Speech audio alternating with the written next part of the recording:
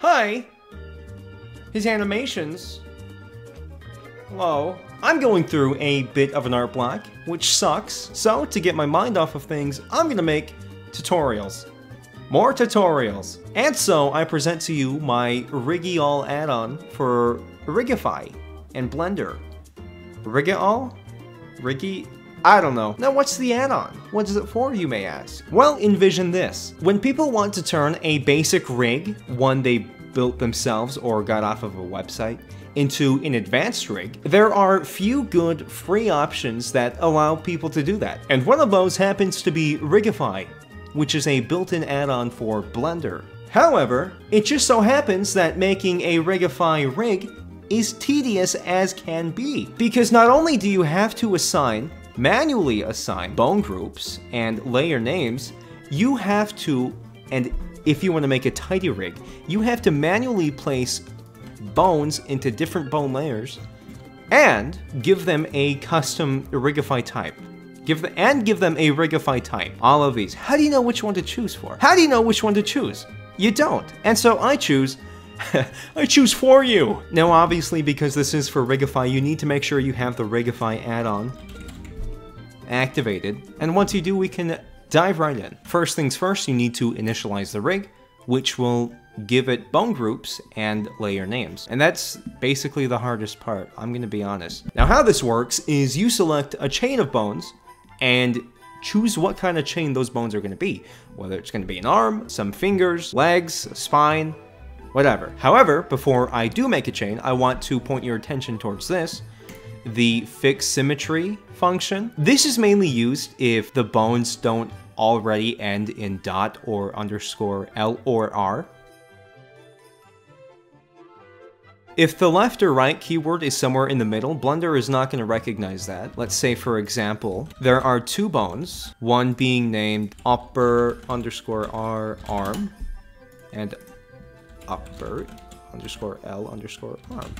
If you try to enable symmetry, Blender will not recognize that, and you'll be screwed unless you want to manually rename bones. So what you'll need to do is enter the symmetry keywords that can be found in a bone's name here. So we'll we so we'll do underscore r underscore uh, comma underscore l underscore. And now whenever you generate a bone chain, if those keywords are found in the bone name, they will be replaced and .l or .r will be appended to the bone's name. If the bone names already end in underscore or .l or r, uh, don't worry about that. You can turn fix symmetry off and go on. So let's start by generating a left arm chain. By the way, if you have more bones than I do here, only select the bones that are necessary. That being the upper arm, the elbow, and the hand. Don't select anything else. So select those bones, and then choose make left arm.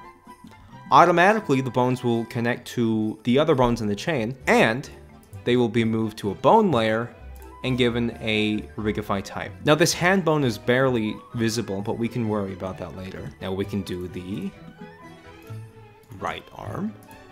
Then we can do the left fingers. You can enable IK fingers, by the way, if you'd like to have if if you'd like to have IK control over the fingers. You can enable that. I won't. So I'll do make left fingers, make right fingers. Now we'll do a uh, leg chain.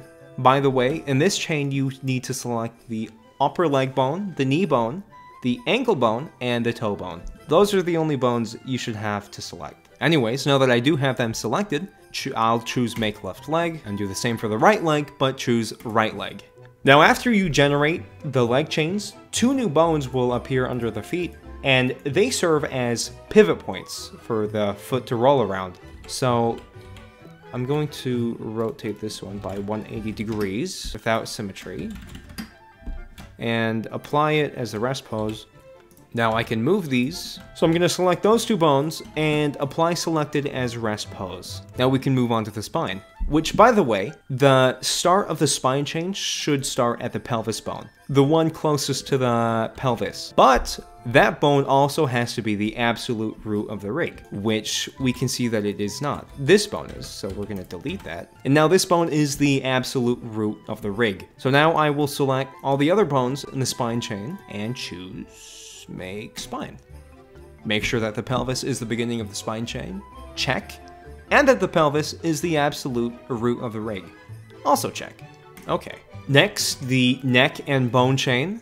Select those two bones, the neck and the head, and make it neck and head. Now with all the chains having been formed, we can move on to adjusting the rig and ensuring that the bones are rolled okay and they look okay. I don't know. I'm to start off with the hand bone. That's going backwards into the elbow. So I'm to go into edit mode, change the transform pivot point to individual individual origins.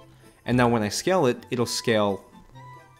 Whoa it'll scale at this point. We can enable symmetry so that the other bone follows. And as for the finger bones, I will also scale these backwards. The other bones should follow, they do. But they also do that. That is really weird. I'm just gonna do negative 2. At this point, I would also like to mention that the bone chains should rotate the way they were intended on their local x-axis. So if we select all of these and rotate them on the local x-axis, they don't look so good.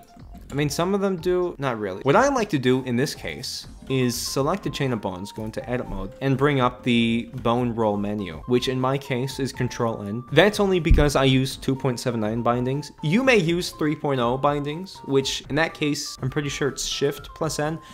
I don't know how to confirm that. Anyways, I like doing local plus X tangent. The first bone is not rolled, so I also like to select this bone and then select the next bone in the chain, opening the bone roll menu and choosing active bone. And now they all look aligned, we can rotate them on the local x-axis and that needs to be rolled by 90 degrees, 180 degrees if I rotate it. Ah, good. All the bones in the chain plus x tangent and then this one to that one, copy the this one's bone roll. Again, select all the bones on the chain, plus x tangent, copy the active bone, plus x tangent, copy the active bone, plus x tangent, copy the active bone. So now if I try to roll them all, that looks pretty okay to me. Oh, except for the thumb. Roll by 180. Roll by 180. Okay. I like to do that on all of the bone chains, except for the spine.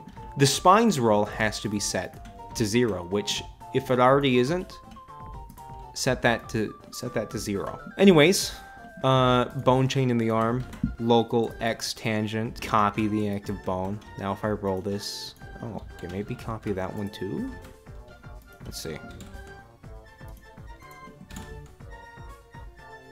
That looks pretty good. I think we are okay in the arms now. Nice! Uh, now let's work on the legs. Oh, that needs to be brought back out. Okay, select the bones plus X tangent. That looks okay. Uh, okay, so that needs to be rolled by 180. Very good. And now the head bone. I like to have this one pointing towards the way the face is pointing, so I'm just gonna do that, bring it back a little. The bone roll on this bone, however, needs to be set to 180 degrees. I found that out the hard way. And now the last two we need to work on are the shoulder bones. So I'm just gonna bring the tail end of this bone to the head end of this bone. Selection active. Uh, Rolling by 90 degrees seems to work. I think that we are ready to generate the rig. But the last thing we need to do is mark any unmodified bonus extras. So we're just gonna tap that and we're done. However, by default, they will all appear as circles when the rig is generated, which you can change. There's tons of different uh, widgets that I like to choose. Anyways, I think that at that point, we are ready to generate the rig. So I'm gonna go to the armature tab and click on generate rig. I'm just gonna move this to the side before I do. Now we have a rig, very nice. If these bones here, which are the master control bones of the fingers, if they aren't all aligned like how they appear to be on this rig, something that I found out that seemed to help was setting the bend rotation axis as X manual, and then copying those to selected. That worked out well for me, but these seem to be in line, so I won't worry about that. You know you'll have your bone roll messed up if you scale these master control bones down and they don't curl inwards. If you scale them down and curl outwards, the bone roll is wrong. But don't be afraid because that just requires a quick fix by selecting all the bones, rolling by 90 twice, and then you can regenerate the rig and the changes will be applied. But everything seems to be okay. So first I'm going to redefine the parent of the mesh, set it to be the new rig. I'm going to target the new rig in the armature tab, and I'm going to fix the mesh to make sure that the bones follow. We enable in front, it does indeed follow, very nice. Oh, the head. Let's see if the heels rotate the way they were meant to. More or less. It's not a big deal, I'd say. Now the rig looks pretty good. Stretching, IK, can change these to FK in the item tab. My favorite thing about these is that you can snap IK to FK and FK to IK. So if you want these IK bones to snap to the FK bones, all you have to do is press IK to FK. The bones will be here. And we can switch back to IK. And yeah, it's pretty cool. We can also bring the FK to the IK which is very nice. If you're unfamiliar with rotating the, uh, what is it called? Vector poles for the IK bones, you can toggle pole and you can control them like this. Anyways, there seem to be some issues with stretching the arms, namely whatever is happening here. I think I'm just going to select these two bones and parent them to the tweak bone. Keep offset. Yeah, that looks better. Alright, that is how you generate a Rigify rig in a breeze way faster than doing it normally. The last thing that I'd like to mention, and I think this is really stupid by the way, I don't know if there's a specific reason for this, but every bone that you see here has its own shape, despite others having the same shape. So you'd think that these two share an object as a custom bone shape, but you'd be wrong because they are their own custom bone shapes which is dumb. It's it, it's stupid. So I've made another script. Uh, copy that. Open the text editor. Paste the script. And all you have to do is select the rig and press copy.